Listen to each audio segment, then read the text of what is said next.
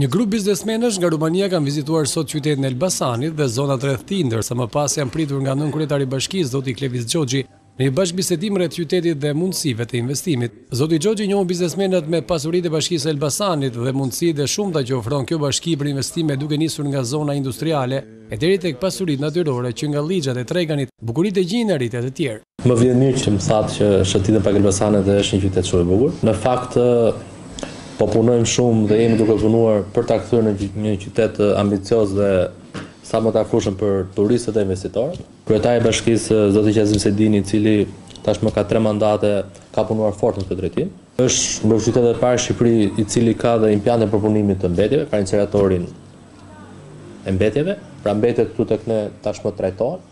Gjithashtu, Elbasani të ofron dhe mundësinë e investimit në bujqësi, pasi siç u thash, ka edhe shumë fusha kodra të cilat ë janë të aksesueshme shumë mirë për të bërë biznes dhe në frutat apo në agrikulturë të ndryshme për shkak të klimës.